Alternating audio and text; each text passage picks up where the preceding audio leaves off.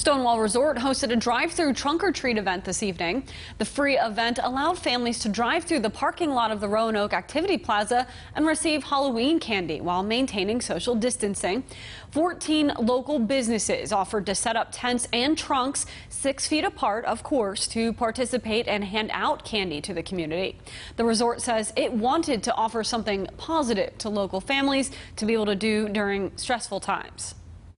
We've never really participated Halloween. So during this COVID pandemic, we saw that, you know, things were um, kind of being restricted. So we thought, you know, how can we participate?